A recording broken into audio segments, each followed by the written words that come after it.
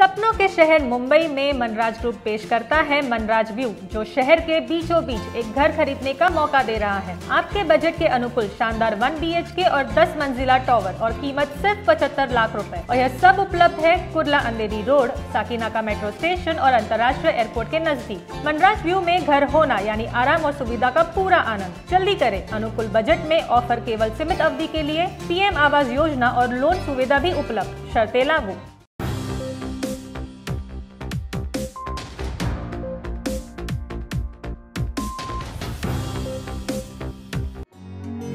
राजस्थान की अवनी लेखरा ने पैरालंपिक्स में इतिहास रच दिया है।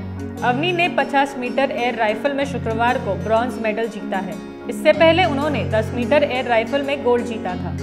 किसी ओलंपिक या पैरालंपिक्स में दो मेडल जीतने वाली वो पहली भारतीय महिला बन गई है।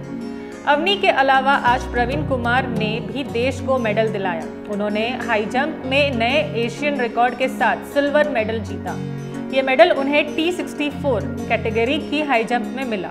टोक्यो पैरालंपिक में देश के लिए पहला गोल्ड जीतने वाली जयपुर की अवनी 50 मीटर एयर राइफल में ब्रॉन्ज मेडल जीता।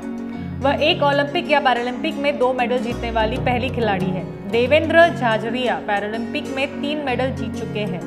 वहीं ओलंपिक में कुश्ती में सुशील कुमार और बैडमिंटन में पीवी सिंधु दो मेडल जीते हैं। प्रधानमंत्री नरेंद्र मोदी ने पदक जीतने वाले प्रवीण कुमार की प्रशंसा करते हुए कहा कि यह उनकी कड़ी मेहनत समर्पण का नतीजा है।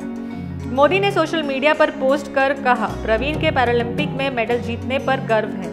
यह उनके कड़ी मेहनत और खेल के प्रति समर्पण का नतीजा है, उन्हें बताई डीआरवी न्यूज़ के लिए मेगा खाड़े की रिपोर्ट।